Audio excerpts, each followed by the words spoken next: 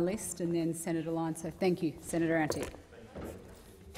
Deputy President, I rise tonight to speak regarding the future of this country, the future of my home state of South Australia, and the urgent need to address this country's economic and strategic future in the post-COVID-19 world.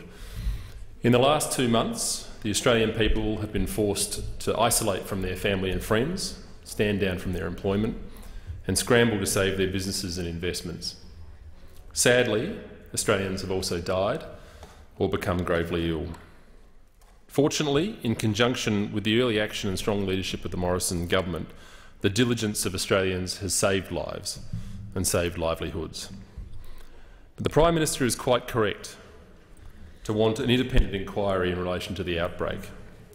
Australia will not be a piece of chewing gum stuck on the sole of China's shoes. COVID-19 started in China. It was covered up by the Chinese Communist Party, and alarmingly, the Chinese Communist Party has now dictated terms in relation to the supply of critical goods such as personal, protective and medical equipment.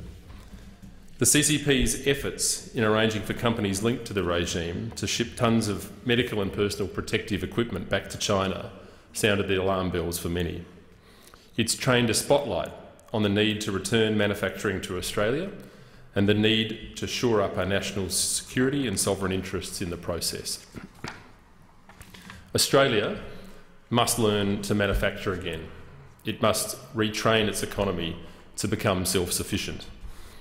My home state of South Australia was once a thriving hub of industry, yet most of that industry has since disappeared due to high taxes, an inflexible labour market, green costs, high energy prices, the advent of low-cost manufacturing in Asia and union-led standover tactics. South Australia is still a prime location for manufacturing due to our abundant natural resources, skilled workforce and low cost of living. The defence sector has filled some of the gaps, but it's also guided the way for the future of South Australian advanced and flexible manufacturing. And we've already seen examples of South Australian businesses adapting with the likes of the Detmold Group transforming its paper goods production into manufacturing face masks and Bickford's shifting the lines from cordial production into manufacturing hand sanitizer. But in 2020, Australia is far too heavily reliant on Chinese supply chains. And this would be concerning enough if those products were manufactured in a country which shared our values. However, the CCP's authoritarian control over critical goods hangs over our heads like the sword of Damocles.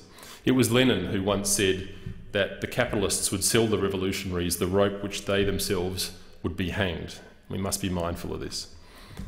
Our reliance on the critical mining and agricultural uh, exports has left Australia's economic complexity ranking at 93, wedged directly between Senegal and Pakistan. And an economy with a complex manufacturing base will generate its own growth with a natural skills effect, those industries becoming complementary. Now, we must seek answers and we must seek compensation. But importantly, we must bring as much of our manufacturing work back as we can. It is one way we can obtain compensation from the Chinese Communist Party, but it also addresses our national security holes. Bringing manufacturing back to this nation is not just about jobs. It's also about protecting our sovereign interests. And in this place, it's critical that we get the policy settings right. We need to continue to drive the price of energy into the ground. We need to deregulate, review environmental laws, and we need economic reform in the area of industrial relations. The green and red tape wrapped around our economy must be loosened to allow it to prosper. The Australian people will no longer tolerate post COVID 19 issues of this calibre become the victims of party politics and posturing. We must work together.